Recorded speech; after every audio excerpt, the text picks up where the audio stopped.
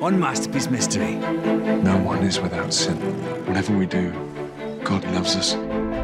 Sins and all. Will, this changes everything. We are very different people. I have faith, and you don't. How is it you hurt everyone around you and always come out unscathed? You are better than this. Maybe I'm not as good as you think. A new season of Grantchester on Masterpiece Mystery.